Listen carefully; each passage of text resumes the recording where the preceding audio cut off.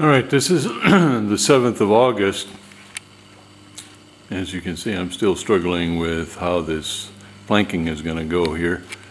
And uh, on the basis that we're going to be using uh, three planks from the, uh, starting with a garboard, and then normally it would be two broads, or one broad that joins it up to the first knuckle you see.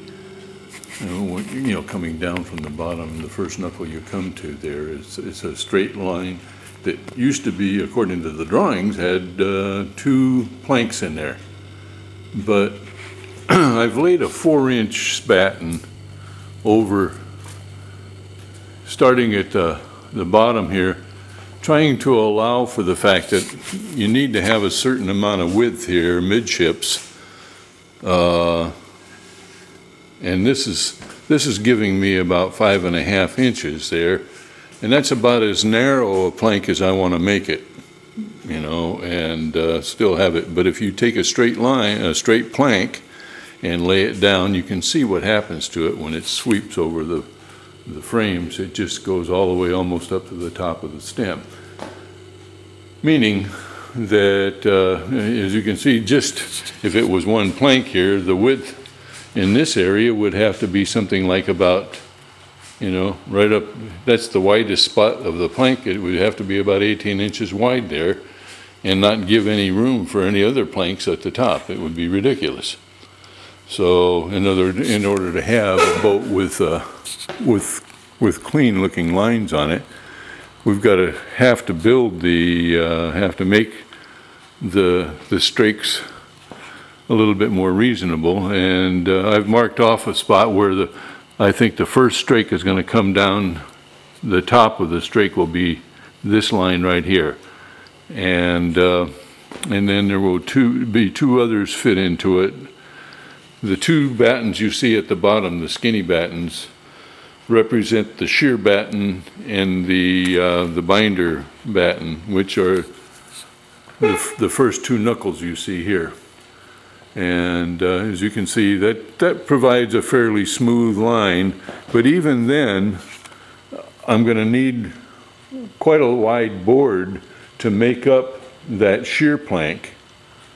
Uh, It turns out that the, that the binder plank, which rests on this part of the, of the uh, frame, uh, rides fairly flat all the way around. I can use an eight-inch plank from front to back with no scarfing or anything in it, and, and it should lay in fine here, and I can, I can spile a, a good plank out of that. But it, the, uh, the need for, you know, creating three planks in the area from, from the bottom down to this first knuckle here, um, that uh, means these planks are, in order to go around and not dive up to the front, are going to have to be scarfed at angles um, so that the, the plank will actually rest, you know, come at, at an angle here and be scarfed in here. And, uh, and, and, and you can't, to, you know, keep the, the boats intact, it's not always a good idea from what I'm reading to use any scarfs at the, at the center of the boat. So it said they should be up front, and uh, as you can see, I've removed frame three here in order to get rid of the gap that I had previously mentioned in here. Um, So I'm going to have to make a new frame three that will fit the lines of these battens that I'm putting in and, uh, you know, then reinstall it so that I don't have a gap issue anymore to deal with and I don't have to do any shimming. But getting back to the scarfing of the, of the planks, the, uh, the, the plank, the garboard plank is going to have to be made up of three pieces.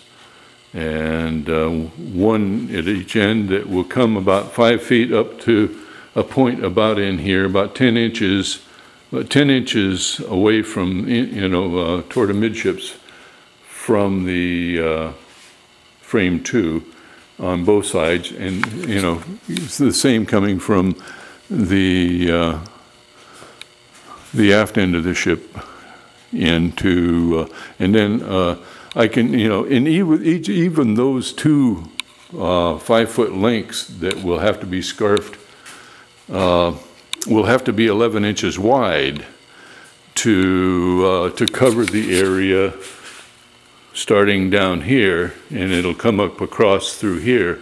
In this area right in here is going to require an 11-inch wide plank.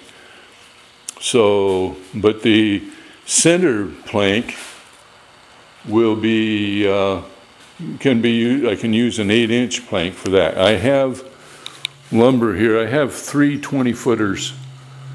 Uh, actually, I got, yeah, I have three 20-footers left of the, uh, of the eight-inch wide plank, and, you know, all I need, well, actually, I'm gonna be needing two of them for the, uh, for the binder. And then the, the third one I can use for the garboard in here. Uh, And I guess I'll be using the rest of my 11-inch wide planks to, to make the, uh, the two pieces, the two pieces of the, uh, of the broad. Anyhow, that's where it's at at the moment, and uh, I'm, I'm still struggling about the sequence, about cutting the pieces, fitting, laying them out at the, at the necessary angles, and, uh, and then cutting, uh, do the spiling work for them. You know, you can't lay, this, this batten you see, this four-inch batten here, will not work as a spiling batten. It, you can't get a batten to fit that, that kind of an area. So I'm st- struggling with how to spile the garboard plank, even if I do